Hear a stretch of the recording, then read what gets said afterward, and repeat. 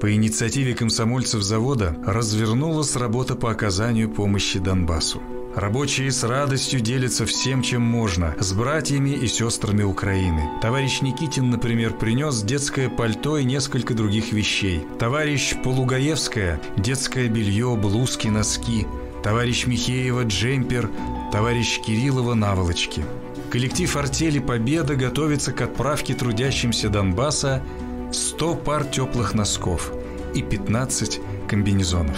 Ученики Суворовской школы собрали для детей Донбасса 1306 рублей деньгами, 75 листов бумаги, много учебников, книг художественной литературы, карандашей, ручек, перьев.